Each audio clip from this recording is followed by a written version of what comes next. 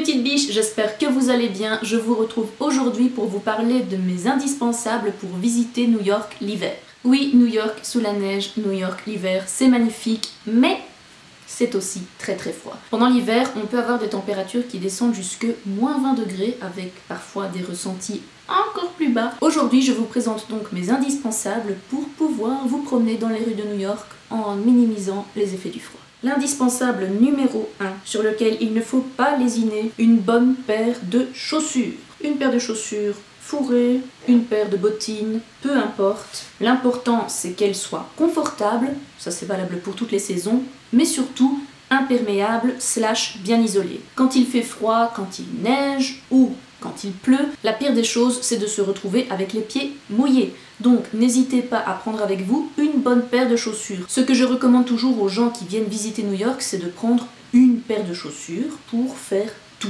De toute façon, vous allez vadrouiller toute la journée en principe, et à la limite, une autre paire de chaussures un peu plus habillée, si vous avez envie d'aller au resto, le soir, ce genre de choses. Mais ne vous encombrez pas de 36 000 paires de chaussures, l'important c'est d'avoir des chaussures confortables, chaudes et bien isolées. Ensuite, bien évidemment, aussi extrêmement indispensable, un manteau qui va bien vous protéger du froid. Ça c'est un manteau que j'ai acheté l'an dernier sur Asos et qui a même euh, une doublure on va dire euh, en faux poil, hein, fausse fourrure, qu'on peut enlever. Il y a la capuche avec la fourrure aussi, avec le col de fourrure, fausse fourrure, hein, ça va de soi, qu'on peut également enlever. Ça c'est un manteau qui me tient extrêmement chaud l'hiver. Alors certes, j'ai l'air d'un bibendum avec ça, euh, voilà et cette photo, ça me rajoute facilement 15 kilos, enceinte ou pas.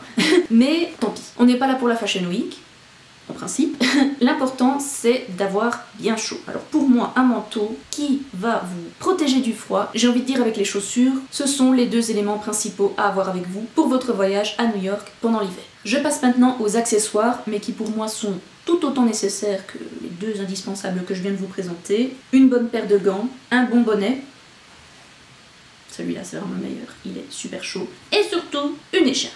Pour les gants, je vous conseille d'en prendre des tactiles. Bien évidemment, ce n'est pas nécessaire. Vous n'êtes pas obligé d'en racheter une paire. Il ne vous arrivera rien si vous n'avez pas de gants tactiles à New York. Mais à l'heure actuelle, je pense que tout le monde utilise son téléphone la majorité du temps pour prendre des photos, pour regarder la carte du métro, pour aller sur internet chercher une chose ou l'autre, aller sur Google Maps, peu importe. Donc avoir une bonne paire de gants qui en plus sera tactile, ça va vous sauver la vie parce que j'ai fait les précédents hivers sans gants tactiles et je peux vous dire que j'en ai chopé des craquelures aux mains, c'était atroce. Je sais j'ai les mains fragiles mais bon. Ceux-là viennent de chez Decathlon, ils ne sont pas extrêmement chers et ils sont tactiles et le tactile fonctionne super bien parce que oui en plus de tout il faut encore avoir des gants tactiles qui fonctionnent bien et ceux-là sont des gants en simili-cuir de chez Nordstrom, qui est un magasin d'ici, et le tactile fonctionne aussi hyper bien, et ceux-là sont évidemment un peu plus chauds parce qu'ils sont donc en simili, plus fourrés à l'intérieur. Mais ceux-là peuvent tout à fait faire l'affaire, ils sont juste un petit peu moins chauds. Je dirais que, bon, à choisir, quand il fait moins 20, prenez plutôt des, des plus costauds.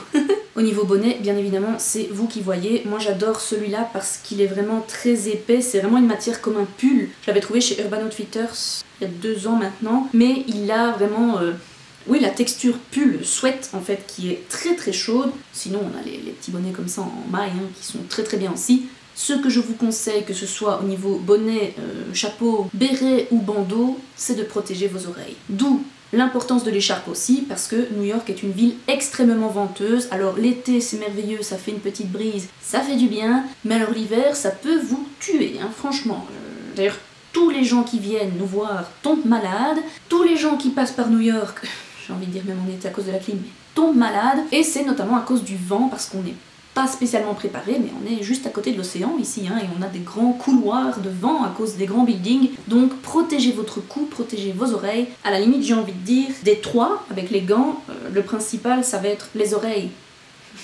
et le cou. Les gants, c'est évidemment bien pratique et bien chouette d'avoir les mains chaud, mais si vous n'avez pas de gants, ce sera moins grave, on va dire. Un type de vêtement que j'ai beaucoup apprécié cet hiver, ce sont les vêtements Heat Comment vous dire, euh, damar, en gros. Quand j'étais petite, euh, voilà, ma maman me donnait du damar.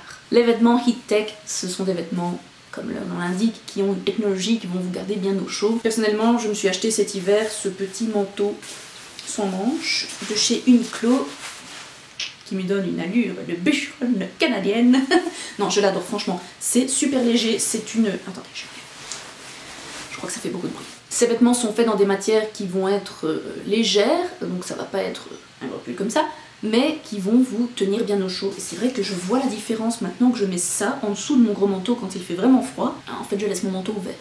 Et ça, je veux dire, ça fait une petite couche en plus, mais ça fait moins bibendum que d'avoir le manteau tout fermé. Donc voilà, c'est une question de préférence. Dans la gamme Heat Tech de chez Uniqlo, parce que c'est la seule que je connais, il y a aussi euh, des tops, des leggings, des t-shirts à longue manche, des soupules.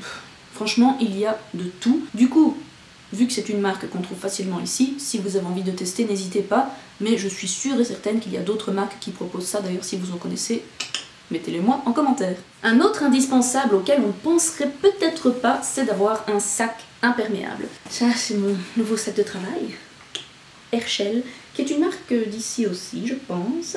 En tout cas, qui est très très populaire aux États-Unis. On voit tout le monde avec un sac Herschel.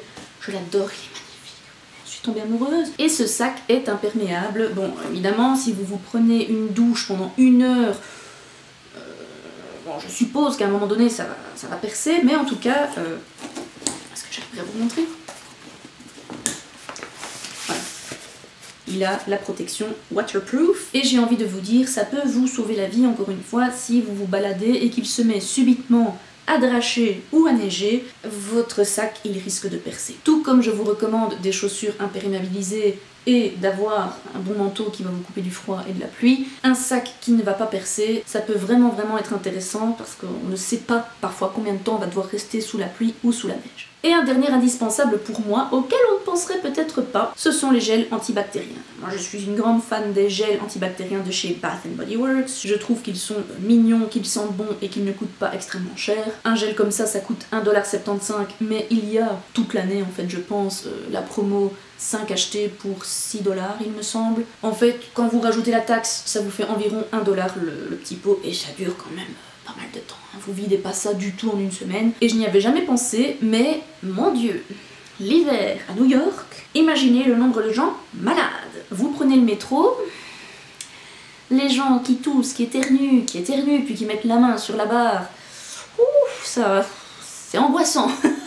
Et en fait, je me suis fait la réflexion cette année parce que je suis enceinte et que voilà, un peu, oh mon dieu, les micros d'attention. Et du coup, je me suis dit, oula, heureusement que j'ai toujours avec moi mon petit gel. Donc voilà, ça, encore une fois, soit de vous l'amener de chez vous, soit de vous, vous en acheter ici. hein. Il n'y a pas que cette marque, mais Bath Body Works, c'est un chouette euh, magasin à faire quand on est à New York. Ayez ça dans votre sac, ça va encore une fois vous être bien utile. Si vous prenez les transports en commun, si vous avez envie de manger un truc et qu'il n'y a pas moyen de se laver les mains, enfin, pas besoin de vous expliquer les avantages du gel désinfectant, mais l'hiver surtout, c'est un indispensable pour moi. Et voilà pour cette vidéo mes petites biches, j'espère qu'elle vous aura été utile si vous préparez votre voyage à New York. Surtout n'hésitez pas à me le dire en commentaire et surtout n'hésitez pas à partager cette vidéo avec d'autres personnes qui prépareraient éventuellement un voyage dans la grosse pomme. Ça me ferait plaisir et euh, voilà j'espère que on va continuer à étendre la communauté des petites biches. Ça me fait toujours super plaisir quand vous me dites que j'ai pu vous aider par mes conseils la préparation de votre voyage à New York. Je sais que j'ai fait des vidéos qui sont pas mal longues par le passé, hein, des FAQ,